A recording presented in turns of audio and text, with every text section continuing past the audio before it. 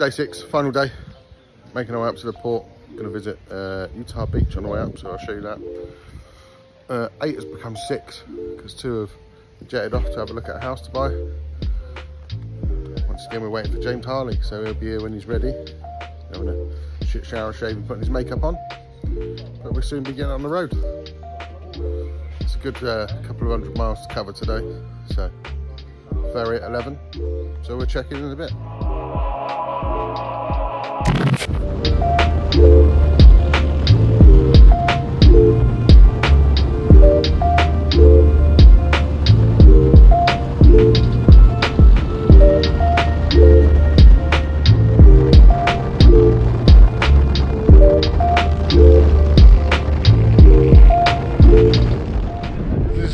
One of the points of entry for D-Day in 1946, 6th of June.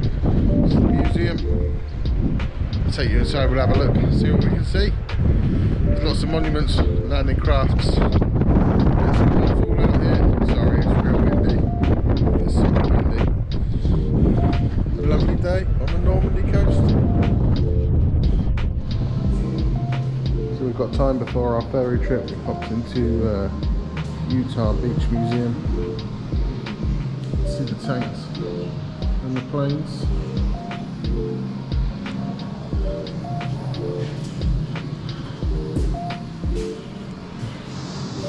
Filming Matt, filming me, filming each other.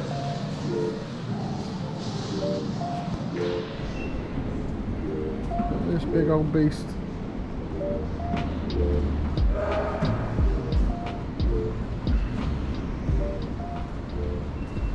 Good lord.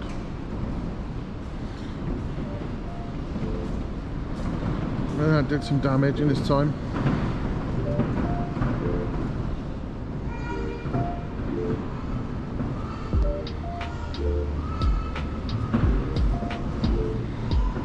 Old Jeep. Go on. Crazy to think this is pretty much what they would have been using to fight wave after wave of Nazi soldier.